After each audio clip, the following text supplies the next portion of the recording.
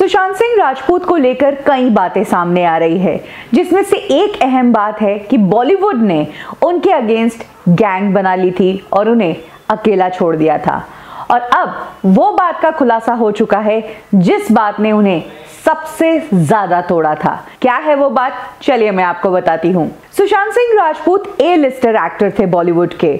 वो कई सुपरहिट फ़िल्मों में काम कर चुके थे। बड़े बड़े डायरेक्टर्स के साथ सुशांत सिंह राजपूत ने काफ़ी हिट फ़िल्में दी थी। भले ही वो यशराज हो या फिर करण जौहर हो। इनफैक्ट करण जौहर के साथ तो उन्होंने जैकलीन फर्नांडिस वाली फ़िल्म ड्राइव की थी।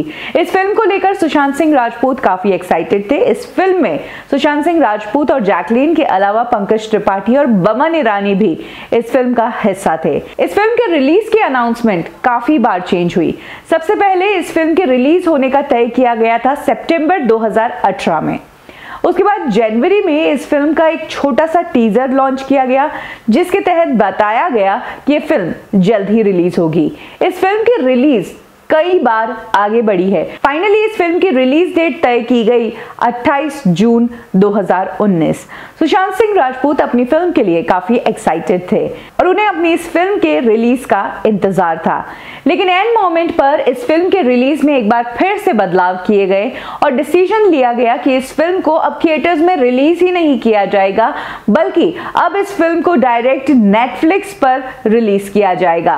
और सबसे बड़ी बात तो ये कि सुशांत सिंह राजपूत जो फ़िल्म के रिलीज़ का इंतज़ार कर रहे थे, उन्हें उम्मीद थी कि इस फ़िल्म को थिएटर में रिलीज़ किया जाएगा। उस फ़िल्म को ओटीटी प्लेटफॉर्म पर रिलीज़ करने का जब डिसीज़न लिया गया तब सुशांत सिंह राजपूत को बताया तक नहीं गया।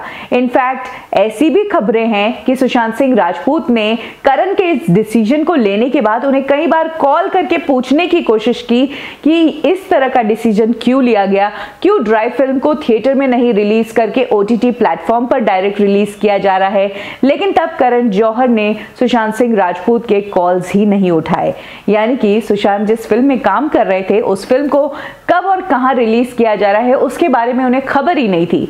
और जब उन्होंने पूछने की कोशिश की तो उनके कॉल्स ही रिसीव नहीं हुए।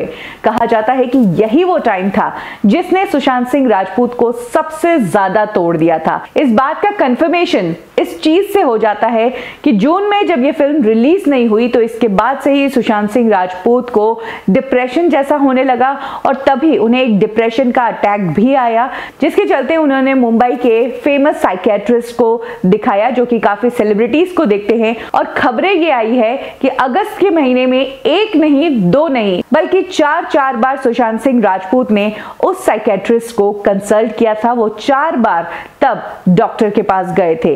इनफैक्ट डॉक्टर से बातचीत को लेकर भी एक रिपोर्ट ये सामने आई है कि तब सुशांत सिंह राजपूत डॉक्टर से कुछ बात शेयर करना चाह रहे थे।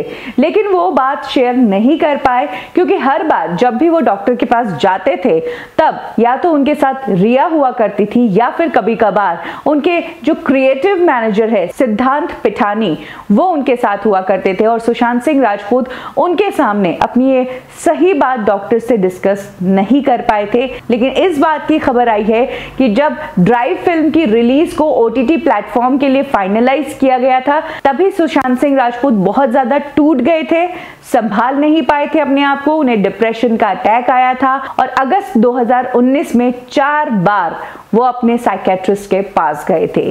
तो ये एक और इंसिडेंट है जो सुशांत सिंह राजपूत की उस कड़ी में जुड़ जाता है कि किस तरह से इस इंडस्ट्री ने पीछे पड़कर इन्हें प्रवोक किया ऐसा कदम उठाने के लिए। एक के बाद एक उन्हें नीचे गिराने की तैयारी कुछ इस तरीके से की गई थी।